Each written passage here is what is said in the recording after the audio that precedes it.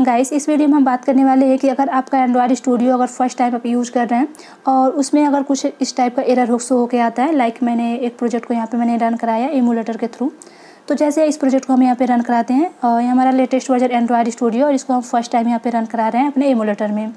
तो जैसे यहाँ पे रन कराते हैं, यहाँ पे कुछ इस टाइप का इंटरफेस शो होकर आता है, जो कि यहाँ पे एरर शो होकर आ रहा है। और इस एरर को रिजॉल्व करने के लिए आप यहाँ से इसका मेथड है, कैसे इसको रिजॉल्व करेंगे तो आप सिंपल सा मेथड है। उस एरर को कॉपी कीजिए। सिंपली आपको यहाँ पे गूगल पे पेस्ट करना है। कोई भी अगर आपका एंड्रॉयड स्टूडियो का एरर आता है, आपको यही काम करना है। यहाँ पे स्टैक फ्लो पे बहुत सारे सॉल्यूशन दिए रहते हैं।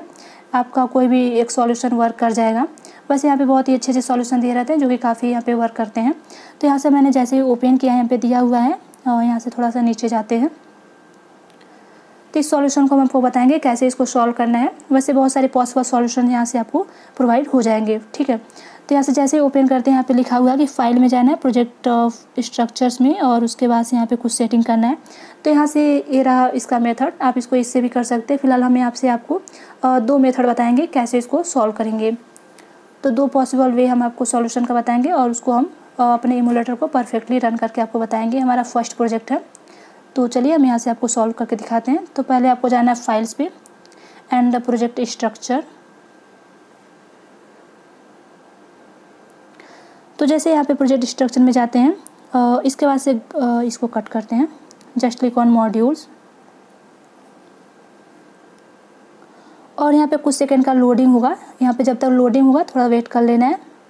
और लोडिंग होने के बाद यहाँ पे हमें जो भी यहाँ पे पार्ट है, इसको हमें सेलेक्ट करना है। तो यहाँ से आप देख सकते हैं। सबसे पहले यहाँ पे आपको बिल्ड टूल वर्जन है, यहाँ से सेलेक्ट कर लेना है, जो कि बाय डिफ़ॉल्ट यहाँ पे दिया रहेगा। इसको सेलेक्ट कर लेना है। और ऊपर वाले पार्ट को भी ठीक ऐसे ही करना है, और यहाँ पे जो बाय डिफ़ॉल्ट दिया है, उसको भी सेलेक्ट कर लेना है जस्ट तो करेंट वर्जन थर्टी वन है, हो सकता है कि फ्यूचर में कुछ और चेंज हो जाए। तो आपको यहाँ पे जैसे ही क्लिक करेंगे, जो यहाँ पे अवेलेबल रहेगा, यहाँ पे सेट हो जाएगा।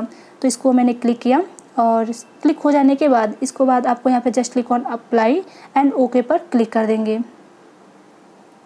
इस पर भी क्लिक करके आप देख सकते हैं। अगर कोई और वर्जन यहाँ पे ऐड करना चाहते हैं जस्ट ऐड कर देंगे। फ़िलहाल ओके पर क्लिक कर देंगे। And click on apply and okay इसको कट करेंगे। और जो लोडिंग हो रहा है लोडिंग हो जाने के बाद यहाँ पे ओके पर क्लिक कर देंगे। और यहाँ पे कट कर देंगे। होने के बाद यहाँ पे आप देख सकते हैं प्रोसेसिंग स्टार्ट हो गया है। तो अगर ए हमारा ए वाला जो मेथड है, अगर हमारा वर्क कर जाएगा तो यहाँ पे काफ़ी अच्छा रहेगा। अगर ए मेथड हमारा नहीं वर्क करेगा तो हम आपको एक सॉल्यूशन और बताएँगे। तो फ़िलहाल यहाँ पे हमारा प्रोसेसिंग नीचे हो रहा है, आप देख सकते हैं उसको। तो प्रोजेक्ट हमारा बिल्ड हो रहा है और उसके बाद बिल्ड हो जाने के बाद फिर से हम इस प्रोजेक्ट को रन कराएँगे अपने इमोलेटर में और देखेंगे कि हमारा जो इमोलेटर है, अब यहाँ से वर्क कर रहा है कि नहीं। तो जस्ट यहाँ पे हमने एंड्रॉयड स्टूडियो को डाउनलोड किया इंस्टॉल किया और उसके बाद से इमोलेटर को भी डाउनलोड और उसको हमने इंस्टॉल कर लिया।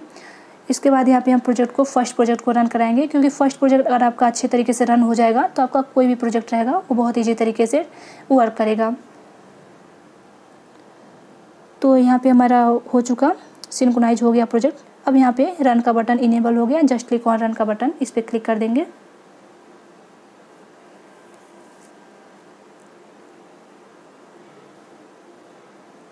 हमारा प्रोजेक्ट है, यहाँ पे रन हो रहा है। आप देख सकते हैं कि अभी भी ये एरर शो होके आ रहा है। यानी कि ये जो हमारा सॉल्यूशन था वर्क नहीं किया।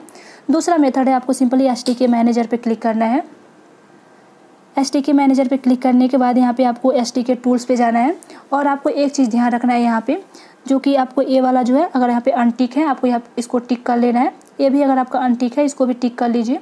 ये भी अगर आपका अनटिक है तो इसको भी टिक कर लीजिए। टोटल है हमारा one two three four five ठीक है? टोटल आपको फाइव है। फाइव कंपोनेंट यहाँ से आपको टिक कर लेना है। जो भी आपका कंपोनेंट टिक नहीं है, उसको कर लीजिए। पाँचों आपका होना चाहिए। उसके बाद अप्लाई पे क्लिक कीजिए ओके पर क्लिक कर दीजिए। आपका जो कंपोनेंट है यहाँ पे चार से पाँच सौ एम लेगा जो कि डाउनलोड हो जाएगा। डाउनलोड हो जाने के बाद आपको फिर से इस प्रोजेक्ट को यहाँ पे सिंक्रोनाइज करना है और रन करना है।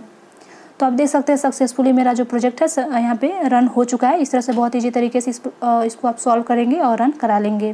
Thank you